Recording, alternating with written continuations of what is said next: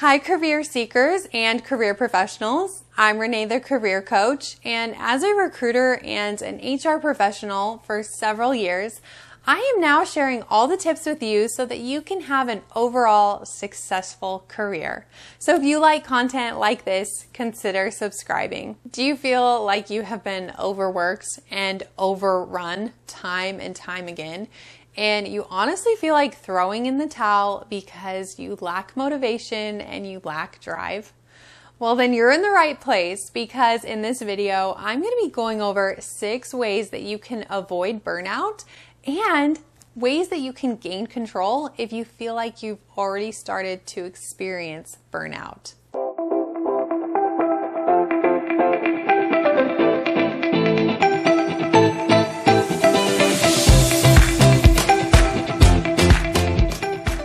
burnout has a negative effect on all areas of our lives. It affects our performance and our attitude. But know that burnout is not forever. It is just temporary exhaustion. You're not going to be drowning forever. And believe it or not, it's actually easier than you may think to get out of feeling this way. Tip number one to avoiding burnout is get more sleep. Make sure to prioritize this. Getting seven to eight hours of sleep every night can make a world of difference. You're going to have more energy. You're going to feel like you can accomplish more. You're going to have a better outlook and a better attitude on things.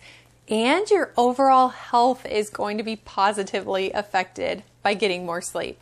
Think about when you go on vacation and you come back to work and it feels like you've hit the reset button. You have more motivation, you are able to jump into things and have a new outlook.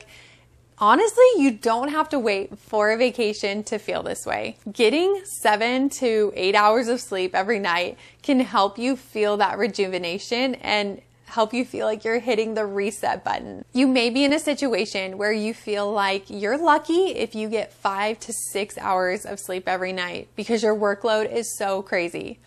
But honestly, prioritizing your sleep will make a world of difference for you. Tip number two, invest in yourself.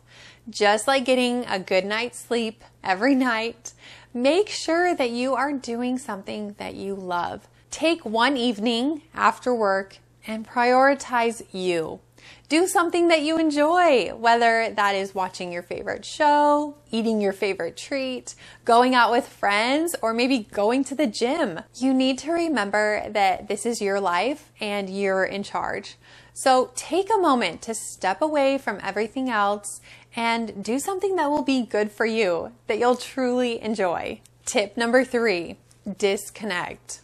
There are so many distractions out there so many different opinions and so many different voices, and getting caught up in all of it can be very exhausting. Make sure to unplug, whether that is just for a few hours a day, a few days a week, or maybe even a whole week. Doing this will really help clear your mind and help you refocus on the things that are most important. When it comes to your specific work, make sure that you take at least one day off a week.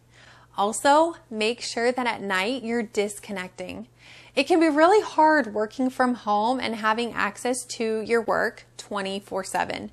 But you really need to create a schedule and create boundaries for yourself so that you're not constantly getting pulled into work and you're able to focus on other areas of your life and have that reset each day. Tip number four say no. If you're on the verge of a burnout, you need to say no to taking on more, especially if you're well established in your career. I get if you're new in your career and you're trying to create more opportunities for yourself, you want to say yes more to create those opportunities. But if you're in the situation where you feel like you have reached your limits, say no. Focus on what is already on your plate and don't feel bad by saying no to things.